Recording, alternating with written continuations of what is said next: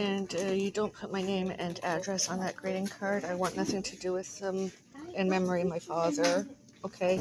He's not to have anything to do with my last name. Girl, he's done. No, he's not worth a care.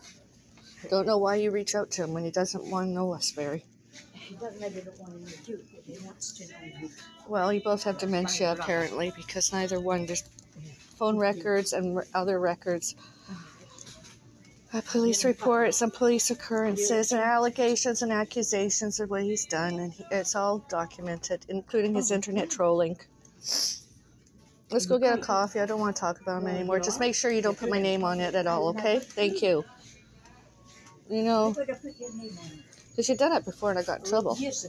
Yeah, and, and since 1984, he's not allowed to know us. None of them are, Mary. I don't know why. He's God. You can't get out that way. Where are you going? He's not worth. It's Yeah. your opinion, not mine.